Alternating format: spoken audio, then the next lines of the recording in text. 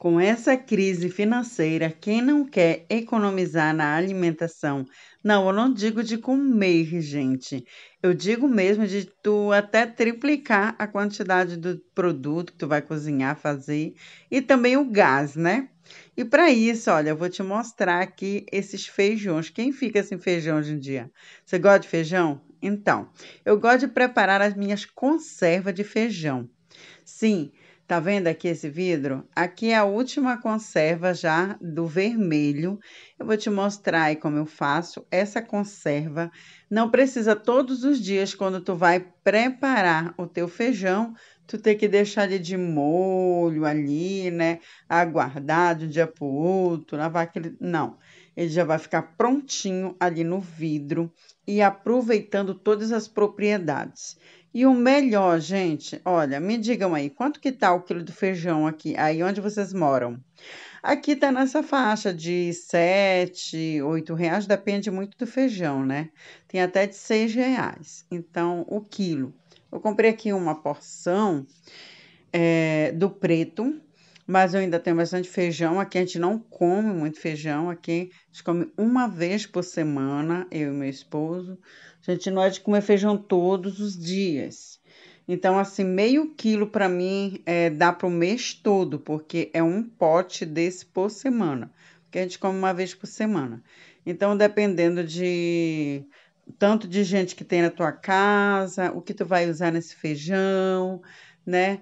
Tudo depende. O principal nesse vídeo, amores, é que eu vou mostrar para você como você economizar o teu gás. Não só tu deixar o teu feijão preparadinho ali, né, ajudando a eliminar os agrotóxicos, tudo, né, e também economizar tanto na alimentação como no gás. O gás aqui tá 100 reais, gente, 115, né, amor? Quanto que tá aí na cidade de vocês? Tem lugar que tá 100 reais, 110, né? Aqui já chegou a, a 115, agora parece que deu uma baixada de novo para 100 reais. É, agora sim, gente, ó, como eu preparo? Eu pego o feijão aqui, deixo primeiro deixo de molho nessa primeira água, tá? Em uma bacia, assim, claro, onde você quiser colocar, né? E aqui, amores, que é, geralmente as pessoas usam limão, né? Mas eu normalmente não tenho usado mais limão assim. Eu uso vinagre e vinagre de maçã, tá? Então pode usar vinagre, pode usar sal ou bicarbonato. Essa primeira água aqui, ela elimina os agrotóxicos, tira toda a substância ruim que tem aí, né, é, por cima da casquinha, antes do cozimento, elimina o enxofre, enfim. Prepara o feijão para o cozimento, tirando tudo que não é de bom, né? Então, deixo ele de molho ali no bicarbonato de sódio, durante umas três a quatro horas. Olha, esse aqui já estava na geladeira, já tem umas três a quatro semanas, tá? Tá perfeito, tá? Olha só, ele já está todo inchadinho, porque ele só vai para esse vidro depois que ele incha. Então, me contem aqui nos comentários, gente, como que vocês gostam de fazer o feijão de vocês? É assim temperado? Olha, eu amo fazer feijão assim aqui em casa. A gente pega, né, aqueles ossos que vêm na carne, toda a carne que a gente vai fazendo assim, já separa aquele osso, né, e já deixa na geladeira pro feijão. Aí às vezes eu faço no mocotó. Aí como que eu preparo? Eu primeiro cozinho, né, essa carne com osso, deixo ficar bem molinho mesmo, seja mocotó, seja o que for.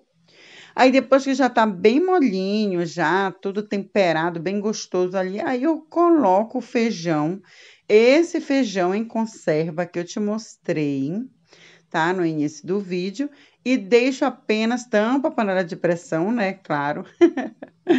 e aí eu deixo cozinhar por mais 10 minutinhos de pressão, amores, apenas 10 minutinhos e ele já fica assim um caldo delicioso de feijão, tá? E fica bem molinho. Quando eu faço, olha como está mole, tá vendo? Chega gruda na colher. 10 minutinhos apenas. E aí, como eu faço assim, às vezes temperado, esse temperado normalmente a gente consome durante dois dias essa porção, tá? E aí eu já gosto de jogar aquela salsinha e fica tudo de bom. Olha que delícia, gente. Então, assim, eu gosto muito de usar temperos secos, alho, cebola, para mim não pode faltar no feijão, que é tudo de bom, não é?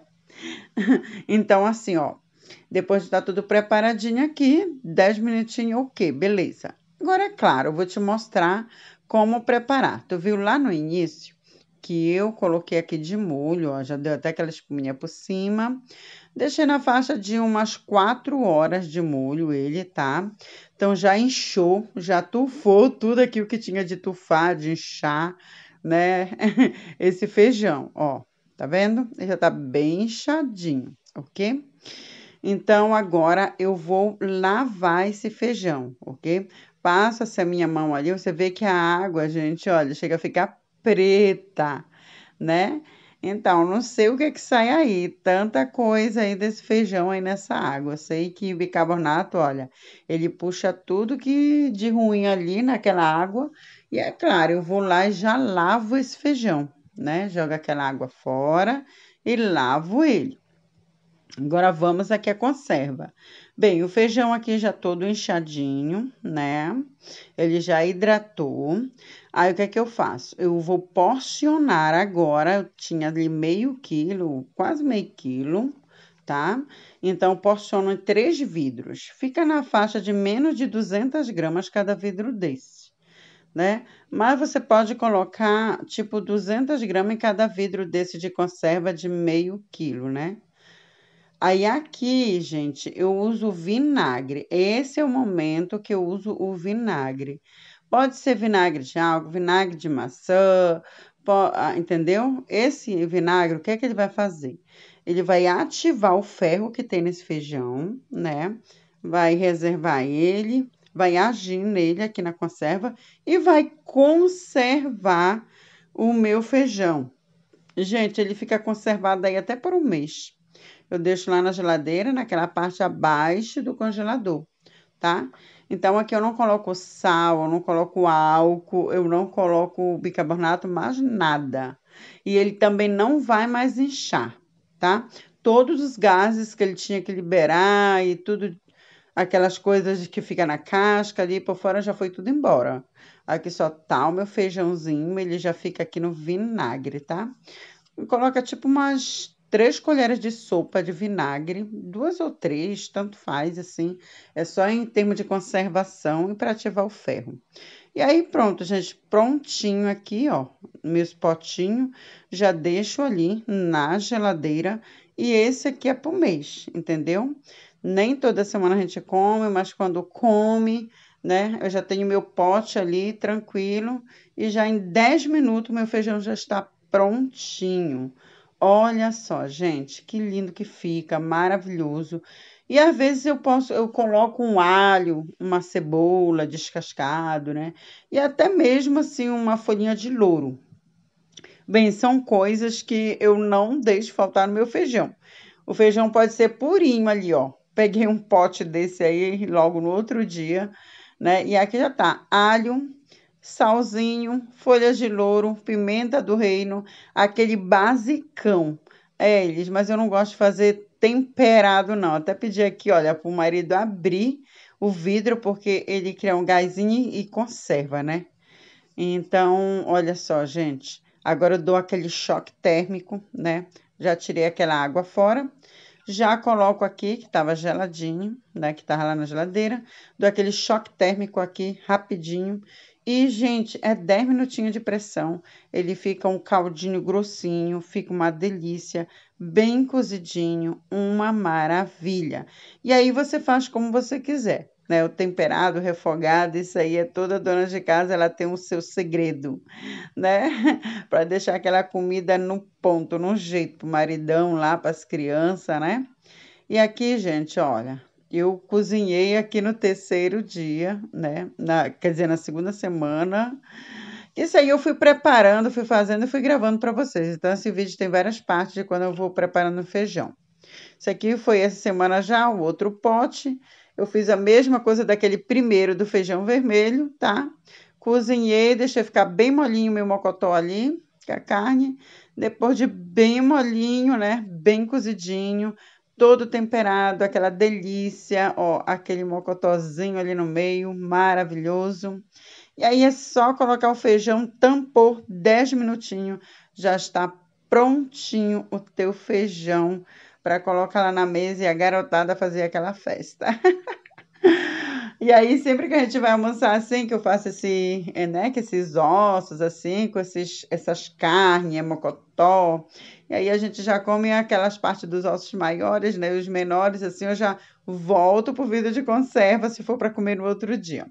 E eu sempre, gente, gosto de jogar um cheirinho por cima, né, ou uma salsinha, que são excepcionais para nossa saúde, né? É tudo de bom, uma maravilha de Deus. Olha só. Que maravilha. Então, é você mesmo que prepara a sua alimentação? Então, amores, vamos economizar gás e vamos economizar, é multiplicar e aumentar esse feijão aí de casa, né? Gostou? Compartilha.